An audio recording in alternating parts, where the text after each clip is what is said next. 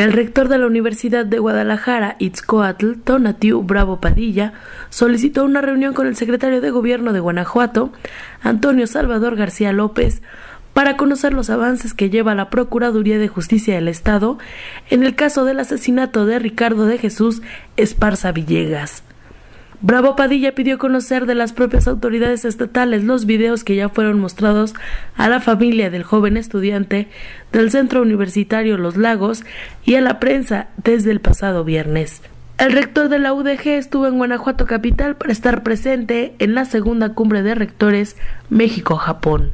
Y están desahogando ya eh, periciales eh, que en ese momento eh, dieron a conocer.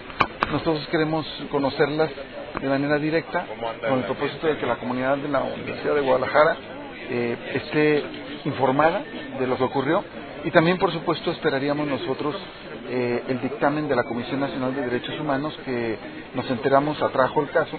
Ellos también tienen pruebas periciales y seguramente ellos también se dan una tercera opinión valiosa eh, para, para el desahogo de este. El rector de la Universidad de Guadalajara señaló que aunque todavía no tienen la información oficial, en los primeros resultados de la investigación de la Procuraduría ya se descartó que el estudiante haya entrado a robar al domicilio ubicado en Peña Grande número 28, donde fue encontrado sin vida el domingo 19 de octubre.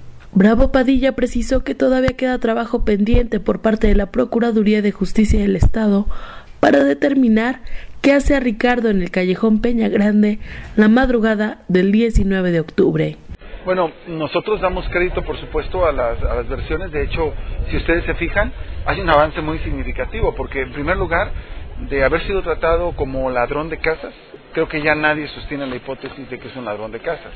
Segundo, desde un principio se sostuvo la hipótesis de que la policía no había tenido que ver y finalmente lo que se reconoció es que sí hubo una retención eh, como lo decían los estudiantes. Y en los videos sale perfectamente eh, e-, esta retención. Ahora hace falta profundizar en la parte que sigue. Eh, nosotros no ponemos en duda, pero tampoco tenemos conocimiento eh, puntual de los videos. Lo vamos a hacer y, y teniendo conocimiento creo que podremos avanzar. Carmen Pisano, Zona Franca.